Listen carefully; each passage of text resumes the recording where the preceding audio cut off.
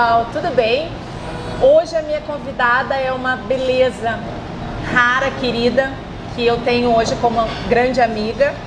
É uma pessoa que fez muito sucesso no Brasil e que veio para cá, para os Estados Unidos, para continuar a sua trajetória. Hoje a minha convidada é a Carol Scaff. Bem-vinda. Muito obrigada. Bem-vinda. Bem-vinda. Oi, gente. Bem-vinda.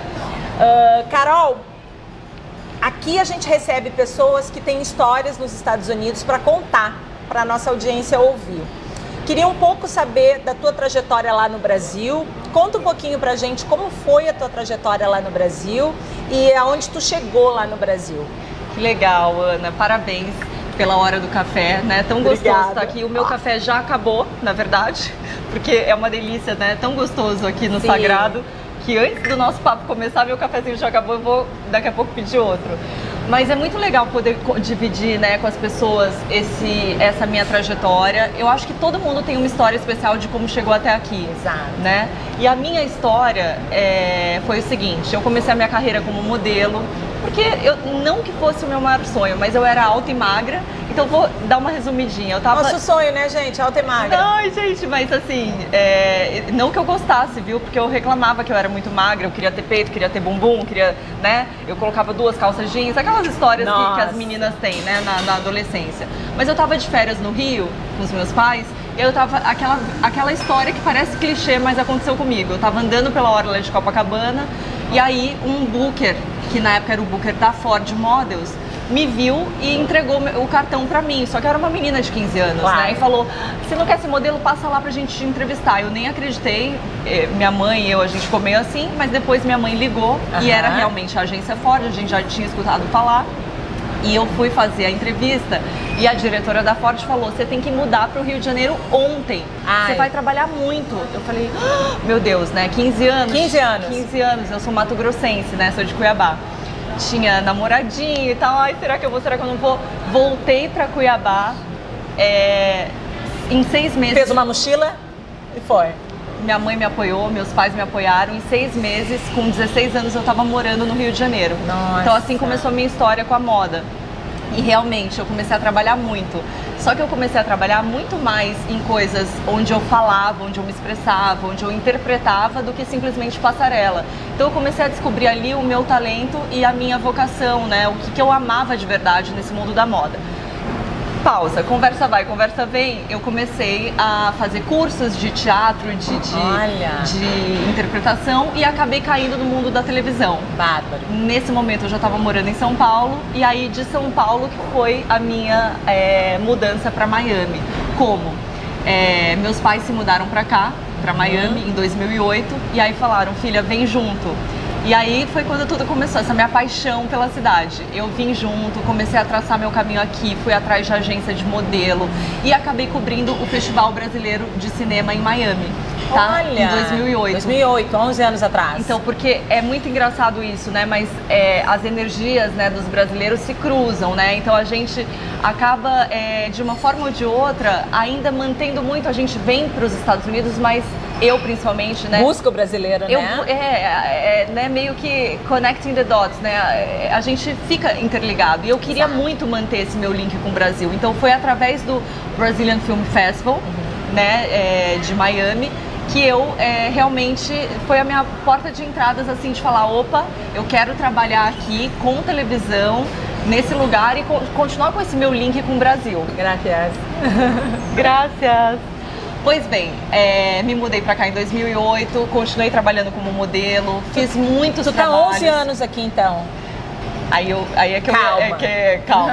Eu tive um, um break de seis anos. Tá. Eu me mudei primeiro, é, nesse primeiro momento com os meus pais, comecei a trabalhar, fiz o Festival de Cinema Brasileiro, aí eu fui contratada, contratada pela Fox, eu gravava também de Buenos Aires, enfim, muita coisa aconteceu. Aham. No meio do caminho, eu me casei, voltei pro Brasil, morei seis anos no Brasil, mas é isso que eu queria falar.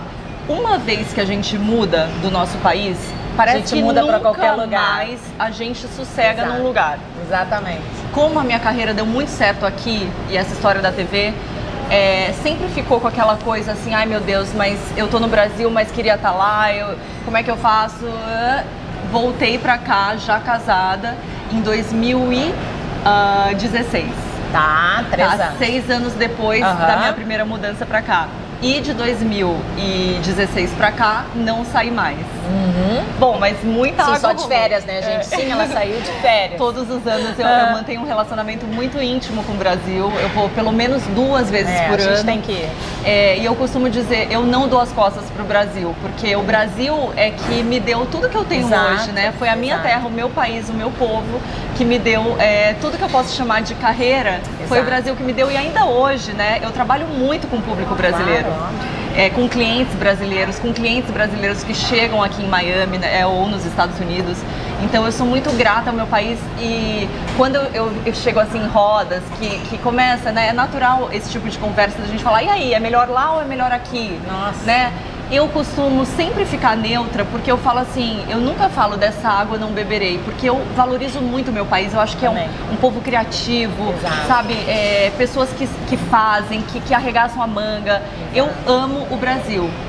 Só que eu aprendi a amar esse lugar e criar meus filhos aqui. Então eu acho que nesse sentido a minha carreira me trouxe pra cá e hoje eu sou agradecida E e é feliz muito grata. Exato. de, de morar É aqui nessa cidade que é linda, né? Que é maravilhosa, que é maravilhosa. Mas de manter sempre o meu relacionamento com o Brasil. Isso é super importante. Eu me enrolei pra contar um Não, pouco. super do- tranquilo. Eu vi que nessa trajetória de vinda pra cá, tu casou, voltou pro Brasil e aí tu falou que criou teus filhos. Tu tá casada? Quantos filhos tu tem? Verdade. Conta que o pessoal quer saber. É verdade, é verdade. Bom, eu, tô, eu, eu sou casada com o Guilherme, né? Meu marido tá nos assistindo agora.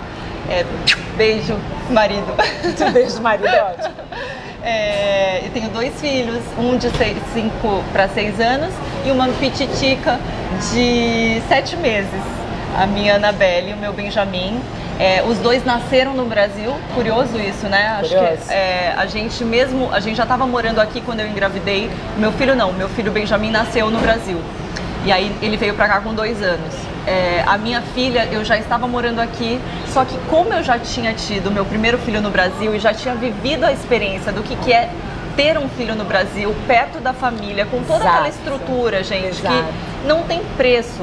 Eu falo assim, Na segunda eu até opinei. Vai pro Brasil. Né? Você lembra que a gente teve essa conversa? Eu até falei Lembro pra você, bem. Ana, o que, que eu faço? Porque todo mundo tá me achando louca, né? Eu Não. moro na terra das oportunidades, eu moro Não. na América e tô querendo voltar pra ter minha filha lá, porque aí eu... eu É o amparo, né? é o amparo, gente. Tem Eu acho que isso, e depois que você já viveu a primeira experiência lá, isso conta muito, né? Claro, Porque sem se eu fosse neutra no assunto, tipo, nunca tivesse tido filho no Brasil, talvez eu ia arriscar ter aqui. Claro. Não é um risco, é, a palavra não é essa, mas é estar longe da família, do Exato. seu médico que você confia, Exato. do hospital que você já está acostumada, de toda aquela estrutura que a gente tem. Obviamente que aqui a gente conta com toda a estrutura impecável e maravilhosa de atendimento, mas o que a Carol está querendo falar, essa rede de apoio que a gente tem da nossa família que está lá no Brasil, realmente não tem como a gente trazer toda a família para cá para acompanhar o nascimento de um filho, né? E é muito pessoal também, porque depende muito do sonho de cada pessoa, né? Tem, tem pessoas que têm o sonho de ser americano, de ter um filho americano, de ter a É. Exato, cidadania já de exato, cara, exato. de nem pensar nesse problema, né? Exato. Como essa parte pra mim já estava resolvida. Então eu pude optar por ter a minha filha lá e com dois mesezinhos ela voltou. E aí eu pude desfrutar de tudo isso que a gente está falando, de Claro. estar pertinho da minha mãe, da minha avó, de todo mundo lá, da minha filhinha maravilhoso. brasileirinha. Isso aí. E é, foi isso. Bom, e a tua filha tem sete meses já, tu já tá linda, maravilhosa. Ah. Se recuperou rapidamente, incrível. Obrigada. Em, acho que em 40 dias a Carol tava maravilhosa, já fotografando, fazendo shooting editoriais. E aqui agora, a tua carreira? O que que tu anda fazendo aqui? Tu continua na TV? Tu continua com os programas? A gente vê que tu continua desfilando, que tu continua fazendo editoriais. Conta um pouquinho, como é que tá a tua vida aqui, profissionalmente? Bom, em primeiro lugar, é bondade sua falar que em 40 dias eu já Ai, tava gente, ótima. vontade. Mas eu acho que realmente é, a amamentação, até entrando nesse assunto, a amamentação ajuda muito, né? Porque a gente está gastando muita energia para amamentar, então é, ninguém entende isso, mas eu não fiz dieta, eu não fiz regime nenhum nos primeiros quatro meses da, da pós, Uhum. pós-parto, porque a amamentação é, você emagrece, você fica magra, magra, magra. É, é, incrível isso. O corpo, assim, vai voltando pro lugar e os órgãos, tudo, tudo ajuda. Tudo, a natureza é perfeita, né? Perfeita. Né? Mas em relação à minha carreira, sim, continuo. Tô, agora todo vapor. É, eu tenho a minha agência de modelos aqui, então eu trabalho muito com o mercado é, de, de, da indústria da moda italiana, alemã, é, americana. Eu não trabalho só com o Brasil, né, com os clientes brasileiros. Então eu faço muitas campanhas, principalmente campanhas de beleza, né, comerciais de TV. É, eu, te, é, eu, tenho é, um trabalho muito intenso ainda nessa área de modelo, mas também tenho o meu trabalho de apresentadora, que eu não deixo de jeito nenhum, porque é realmente onde eu me sinto assim completa. Eu adoro me comunicar. Onde brilha o, o olho. É onde brilha o olho, é, é verdade.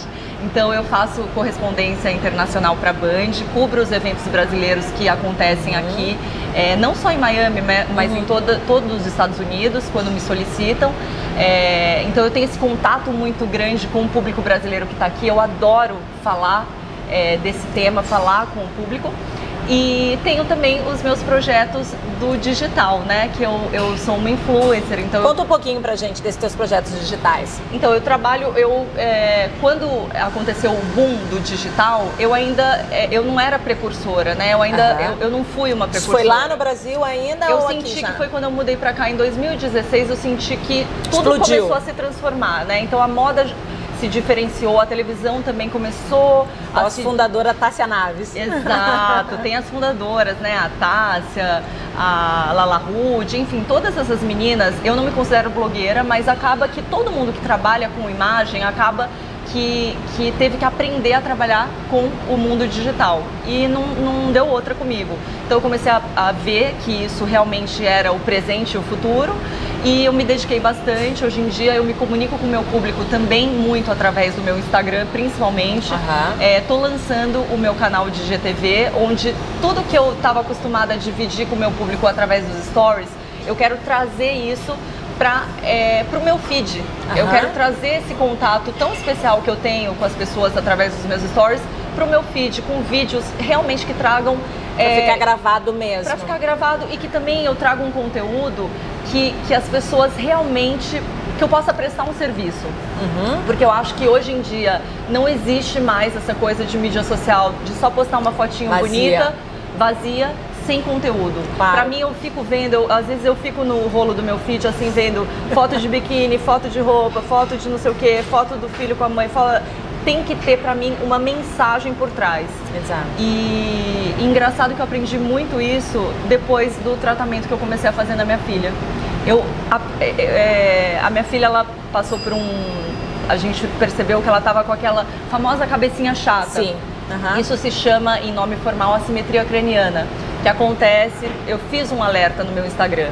Acontece porque a criança fica muito tempo deitada de que é um pouco mais cima. comum, né? É muito mais comum é, do que a gente imagina. Exato. E aí, ao invés de eu pegar isso, claro que no primeiro momento eu fiquei impactada, foi um susto, foi um susto porque ela tem que usar um capacetinho desde o início da, da, da, vida dela, né? Que foi com quatro meses que a gente começou a usar o capacete, por volta de 23 horas por dia, ou seja, é o dia inteiro, dia inteiro. durante quatro meses. Então isso para qualquer mãe de uma recém-nascida é um susto, um baque. Óbvio. Só que o que, que eu queria dizer com isso? Eu percebi ali, Deus é perfeito, né? Eu percebi para que que serve esse tal do Instagram. Esse pra tal do Instagram que é maravilhoso. serve as mídias sociais. Exato, concordo. Pela primeira vez eu concordo. pude, eu pude assim, eu não sabia que com esse meu post, desse alerta, porque dá para prevenir essa cabecinha chata. E não é uma coisa só estética, é uma coisa séria, de verdade. Claro, claro. É, mas muitas mães não sabem. Eu não sabia, por exemplo. Então ali eu descobri as conexões que, que eu fiz através desse meu post, a quantidade, Ana, de mães que me acessaram, falando: Meu Deus, eu acho que meu filho também tem. Você não tem noção quanto você está me ajudando. Amigas próximas. Claro. E eu queria só fazer um alerta, tipo assim, eu achei que eu ia ajudar uma mãe. Sabe Ajudou assim? dezenas. Centenas. Que demais. Centenas. Eu não parei de responder mensagens. Então ali me deu um.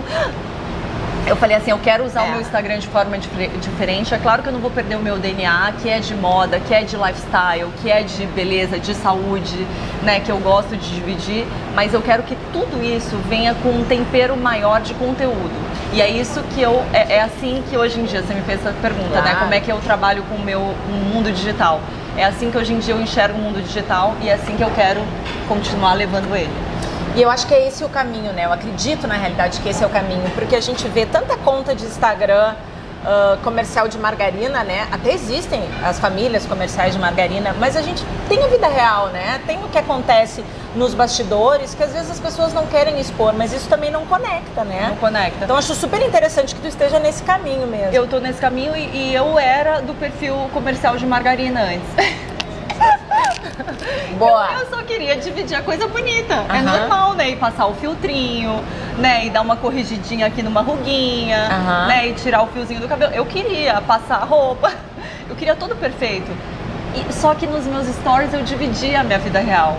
E eu tinha muito mais engajamento nos meus stories quando era vida real. Sim. Eu falei, não, chega. Agora vamos, vamos, vamos usar isso Fica verdade. a dica, né? É. Tá, agora eu quero saber dos teus projetos. Certo. As novidades. Pois é, as novidades. É... Será que pode contar, meu Deus? Não sei. É, não sei, dá um spoiler, dá um não, spoiler. Mas eu acho que tudo no final, é, quando a gente foca no que a gente quer, eu acho que o universo conspira para que aconteça. Então eu estou numa fase é, trabalhando muito esse meu lado da comunicação. E tem surgido muitas oportunidades, tá? Uma delas, que eu brinquei, será que eu posso contar? Mas eu acho que eu posso é que eu estou fazendo um projeto em parceria com a Flávia Pacheco, do Bal Harbor, uhum. é, relacionado ao Brasil. Então a gente vai ter um programa é, social, né, de, de coberturas sociais que acontecem em Miami, começando pelo Bal Harbor, pelos eventos do Bal Harbor, e isso está me deixando muito feliz. Então eu vou poder é, realmente prestar um serviço de contar para o público tudo o que está acontecendo de bom aqui na cidade. Então esse é um dos projetos que eu tenho o maior carinho, uhum. assim, nos últimos tempos, é, e que eu acho que vai dar muito certo. E é de novo vinculado à comunicação. E aí tem duas outras coisinhas mais que eu acho que eu quero primeiro é, deixar acontecer para depois contar, mas. Que o pessoal vai acompanhando, vai né? Acompanhar pelo Instagram. Legal, Carol. Muito obrigada pela obrigada, tua presença. É um obrigada. orgulho escutar essa tua trajetória aqui. Obrigada. O pessoal vai te acompanhar. Qual é o teu Instagram? Para todo mundo seguir? É muito fácil. Carol Scaff. Falou. Fica a dica. Coloca então. aqui embaixo, diretor. então é isso aí. A gente teve hoje com a Carol Scaff, foi a nossa entrevistada do dia. Um beijo, pessoal. Até o nosso próximo programa. Linda. Falei muito? Não.